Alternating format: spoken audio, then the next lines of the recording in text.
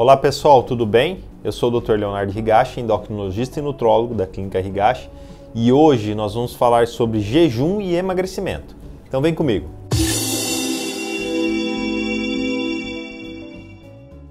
No vídeo passado, nós respondemos a pergunta da Suelen, que queria saber se o jejum poderia fazer mal à saúde.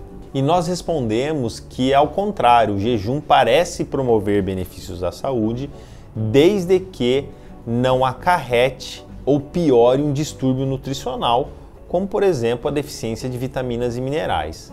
O que acontece é que quando fazemos jejum, nós ativamos algumas vias metabólicas interessantes, como por exemplo as sirtuínas, que acaba ativando PGC1-alfa, é, NRF2, FOXO, podendo então gerar benefícios à saúde, como por exemplo ajudar na neuroplasticidade cerebral, ajudar na ativação do seu sistema nervoso parasimpático, melhorar a resistência insulínica, ajudar na inflamação, até mesmo no estresse oxidativo, podendo então também ajudar na mobilização da gordura, podendo então auxiliar no emagrecimento. Mas existem três modelos principais de jejum, como por exemplo o jejum completo.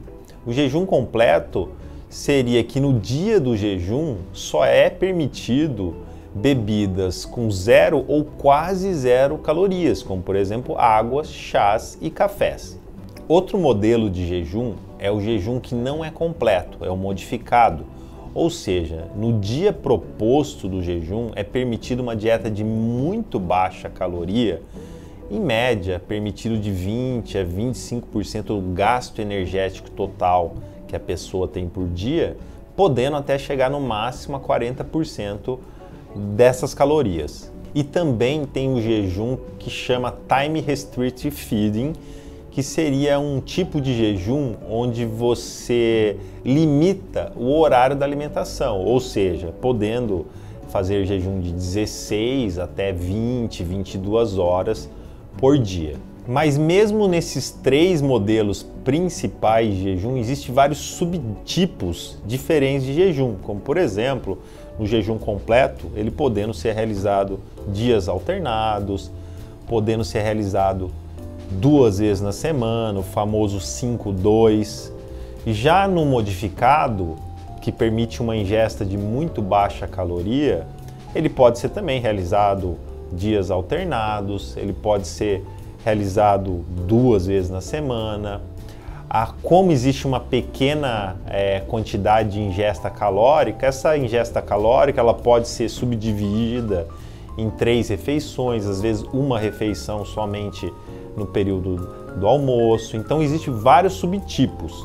Já no time restricted feeding, ele pode ser realizado de 16 horas, de 18 horas, de 20 horas, podendo é, variar entre o horário que se realiza esse jejum.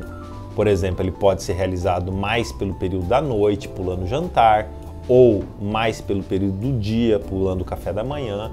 Então nós estamos vendo que existem várias subvariações, o que pode gerar resultados diferentes para o emagrecimento. Nos últimos anos, inúmeras pesquisas tem se avaliado os efeitos do jejum no emagrecimento. E o que, que as pesquisas têm mostrado? Tem mostrado que pode-se variar muito o efeito do jejum, podendo ser de modesto, como por exemplo essa pesquisa avaliou 27 estudos sobre jejum e viu que a perda de peso pode variar de 0,8 a 13% do peso basal. Ou seja, podendo variar de uma perda de peso insignificante até uma perda de peso muito significativa do peso basal. Já outras pesquisas, como por exemplo essa publicada no Nutrientes, ela comparou a prática do jejum intermitente com as dietas convencionais em relação à perda de peso. E foi demonstrado que pelo menos de 9 de 11 estudos é, analisados, que a prática do jejum intermitente teve perda significativa igual às práticas, às dietas convencionais